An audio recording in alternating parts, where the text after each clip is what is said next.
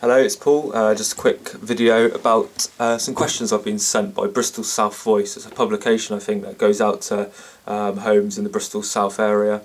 And they've sent me six questions. Um, this is kind of following up to the Totterdown hustings, which is going to be happening tomorrow evening in Totterdown. So, I've been sent these questions. The first one is, how would you, and they've asked me to provide, provide an answer in, um, in a paragraph, basically keep it simple and straightforward.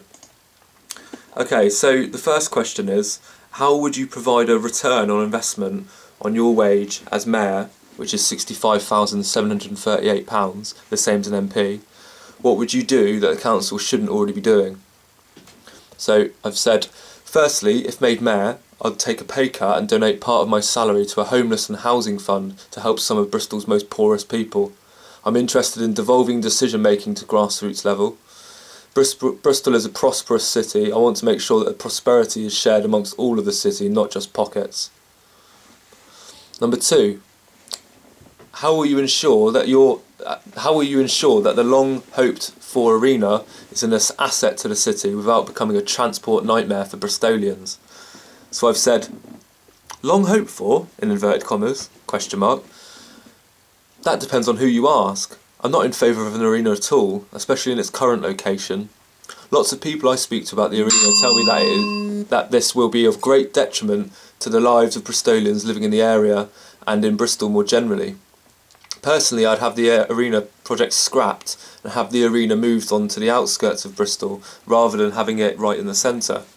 The arena is a terrible decision for Bristol in my opinion. Number three. What are you What are you planning to do about public transport in Bristol? So I said, aha, transport, the bugbear of Bristolian life. Firstly, first, have had a stranglehold on our transport system for far too long. Let's bring the transport network back into public ownership for the good of Bristolians, owned by the city, for the city, not for rich shareholders in first. Number four, would you reverse part or all of the resident parking schemes? Will you exempt community nurses and other carers from the £198 annual charge that they now have to pay to visit patients who live in RPS areas? So I said, at the stage we are at now, we as a city owe £10 million, and in brackets I put, thanks Bristol Council for taking such a large debt on our behalf.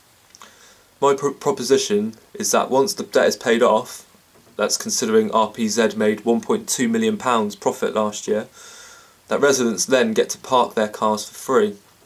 The RPZ should never have been used as a cash cow for the council. Yes, carers should be exempt, and blue badge holders should be able to park freely throughout the city too. In terms of future RP RPZ schemes, scams, I would halt all further rollout. Number 5. Are you happy that the Bristol Green Capital money was spent with the interest of all Bristolians at the fore? And then the editor's note says, most of the budget for Green Capital 2015 was devolved by the council to an arm's length private company Bristol 2015 Limited.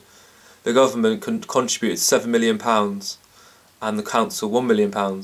So far, detailed accounts of how the money was spent have not been provided. So I've written Bristol Green Capital what a load of greenwash.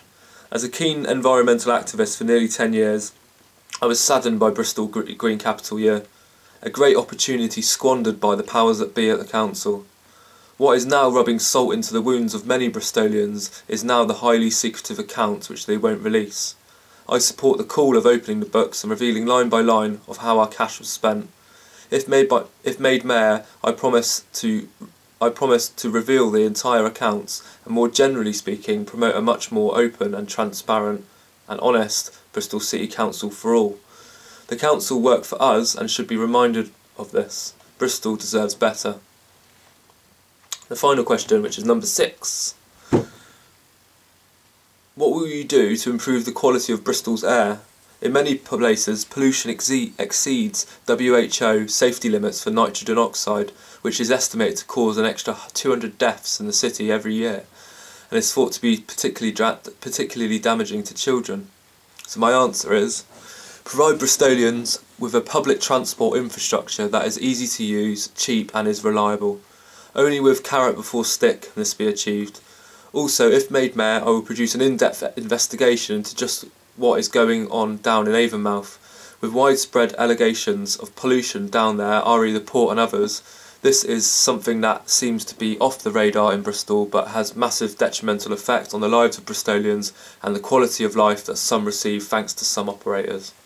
There we go, more transparency for you. Cheers mate.